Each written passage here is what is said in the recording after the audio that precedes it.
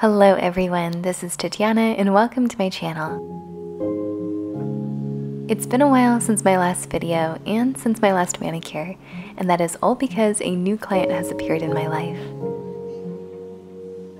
Today I want to keep my nails very simple, but freshen them up with a different color and maybe add a few decorative elements. So let's get straight to work and take down some of the length.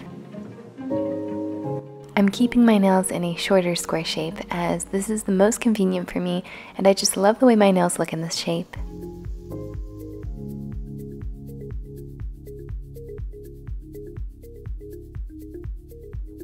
And because there is no lifting, I don't need to take the product down completely. In fact, leaving a thin layer of the prior product behind is ideal, as this will serve as an additional layer of protection for the nail plate.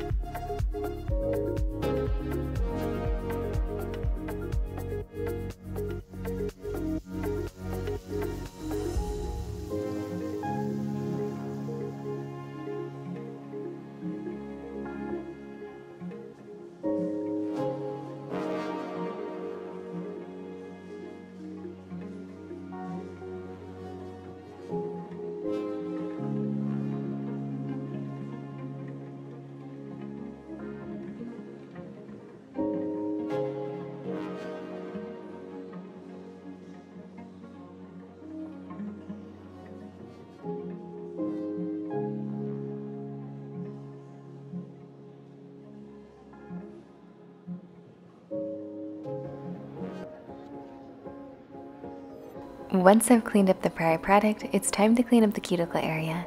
So with my nail drill using a flame bit with blue abrasion, or in other words medium abrasion, I'm cleaning up the dry cuticle.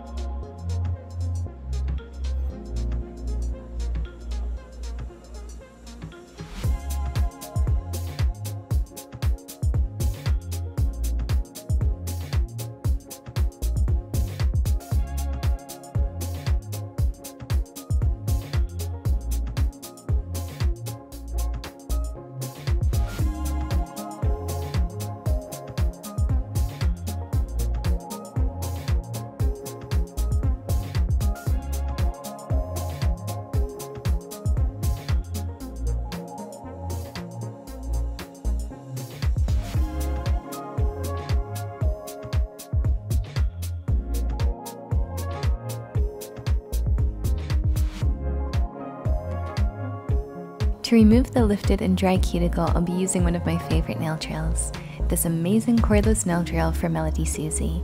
And I always recommend it to all of you because I really just love the performance and it's super convenient to work with.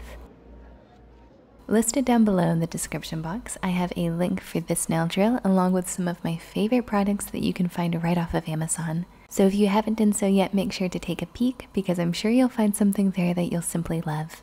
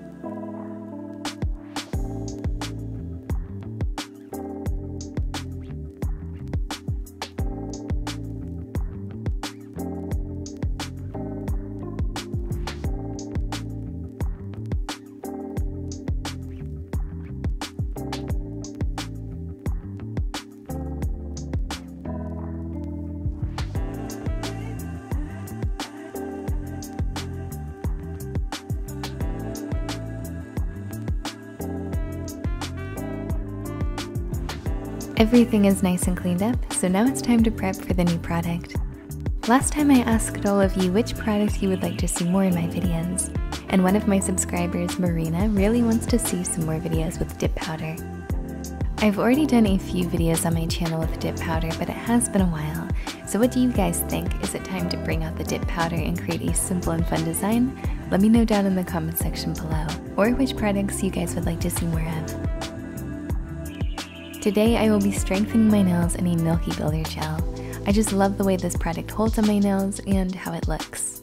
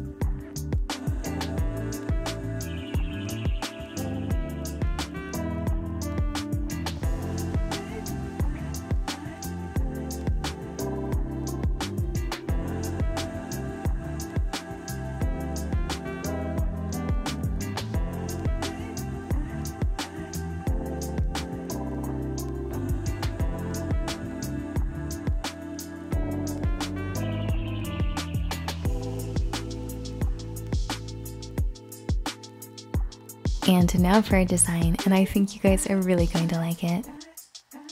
Today I will be using two different colored base coats.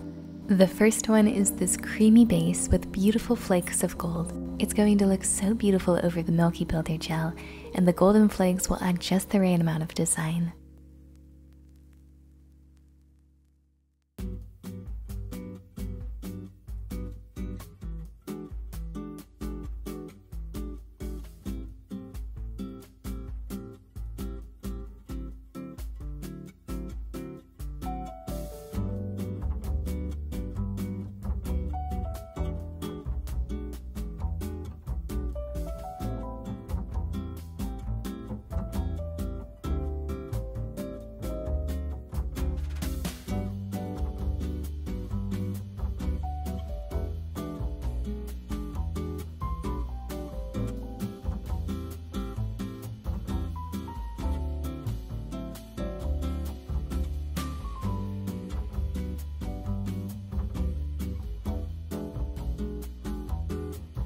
The second color is this pretty olivey green. I'll be applying this in one thin layer, leaving us with a semi-transparent color that I think will really complement the creamy base with those hints of gold.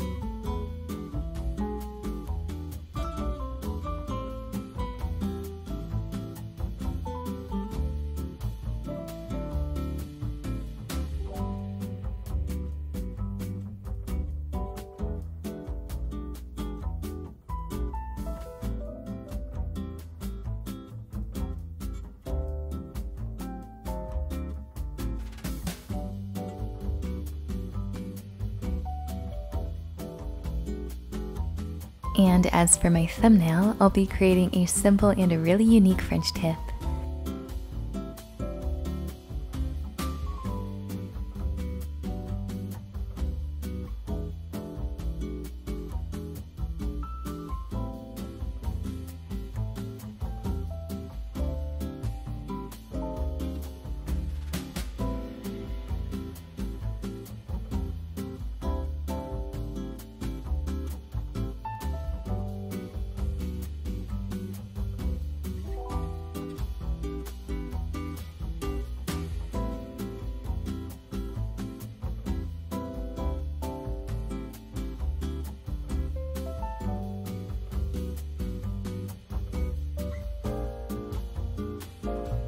After the olive color has cured underneath the lamp, I'm taking the same creamy base from earlier and filling in the smile line.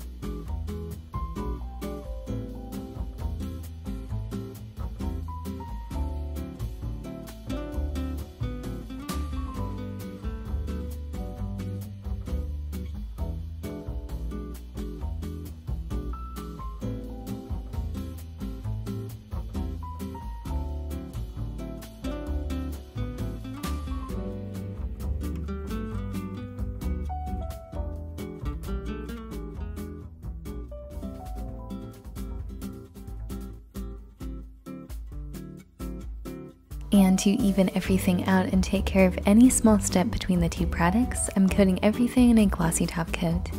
You could also complete this step with a base coat, but some bases leave a yellowish tint behind, so in order not to risk that with the creamy tip, uh, using a glossy top coat would be ideal.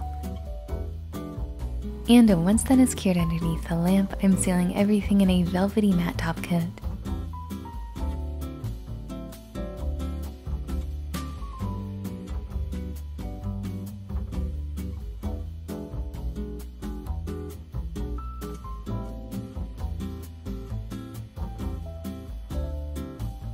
And now for the finishing touch.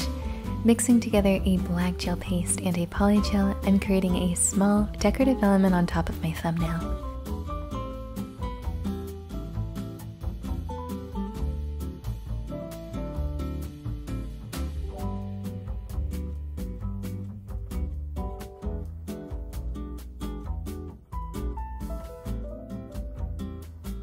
Wanted this to look like a stroke of oil paint left on a painter's palette, but of course we are not just leaving it black.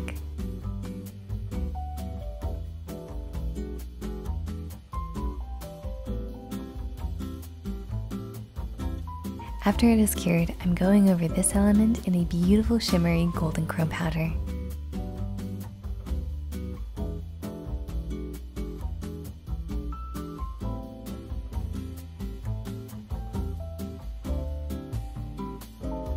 Now to remove any excess and then very carefully coat this element in a glossy top coat, making sure to avoid the rest of my nail so that we can keep everything else matte.